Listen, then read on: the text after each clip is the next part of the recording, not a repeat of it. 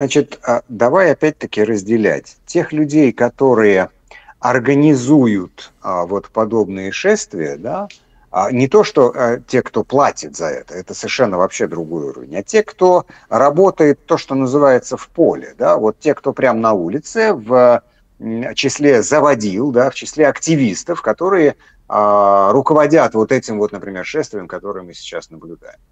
Это люди, которых а, можно назвать а, ну, просто людьми, которые делают это за деньги. Я не думаю, что они, в общем, а, на идеологической основе а, исполняют подобные заказы. Нет, им платят деньги, они это реализовывают, им, в принципе, все равно.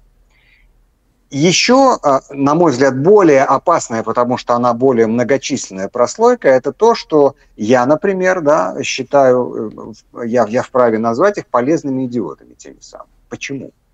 Потому что они выходят на подобные протесты с осознанием собственной правоты. Они живут тоже в своем мире, в котором, а, значит, по Конституции Соединенных Штатов человек и гражданин имеет право, да, то, о чем мы с тобой всякий раз в эфире споем, имеет право выйти на мирный протест, да, высказать свое мнение, они же без оружия выходят, значит, в принципе, имеют право. И они убежденно вот выходят и крайне а, возмущены, когда вот полиция их вот так вот вяжет. Да? Они сразу говорят о том, что это лишение прав, это значит произвол, это волюнтаризм и так далее. Что, а, как этим людям объяснить, почему они идиоты? Вот они, это вот как, когда а, началась так называемая СВО, масса людей призывали идти, значит, э, на фронт. И я, значит, у себя в социальных сетях написал, все призывы идти на фронт я могу, значит, воспринимать только если это призывы сделаны из окопа. Вот когда ты сам туда пойдешь, тогда ты имеешь право других звать. А с телеэкрана, с радиоэфира, в социальных сетях это все чушь собачья.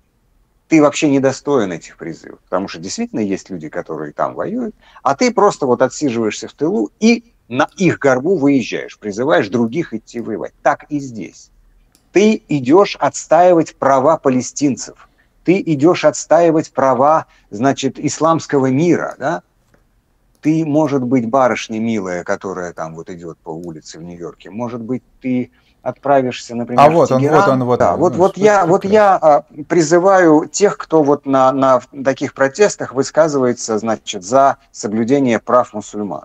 Может быть, ты отправишься в Тегеран и просто попытаешься без платка пройти по улице в том виде, в котором ты привыкла ходить, вот на эти демонстрации. Как далеко ты пройдешь и что с тобой сделают дальше? Может быть, ты там попытаешься развестись со своим мужем, или, не дай бог, тебя там заставят, а, застанут за э, адюльтером. Или который... аборт сделать, не дай бог. Да. My body, my да. choice. Так тебя, так тебя просто, тебя просто камнями побьют. А, обращаясь к представителям мужского населения, которые там же на улицах Нью-Йорка, я, я им скажу, послушайте, а вот если вас вдруг заподозрят, вот вы, вы оказались там в том же Тегеране или в а, палестинской автономии, вас вдруг заподозрят в том, что у вас есть какие-то порочащие вас связи с американским миром. Вы же ведь оттуда приехали? Вы, болтаясь на подъемном кране на центральной улице в Тегерана, будете тогда призывать соблюдать права исламского населения.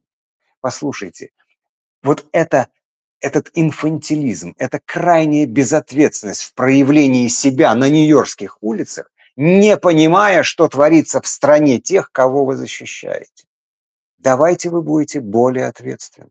Давайте вы будете понимать, какой режим, какой уклад общественный вы на самом деле защищаете. Вот вы сейчас находитесь в совершенно безопасном с юридической, да в общем, и, наверное, с практической точки зрения, если сравнивать с другими странами, стране Соединенных Штатов Америки, и вы чем-то еще недовольны. Вы просто сравните.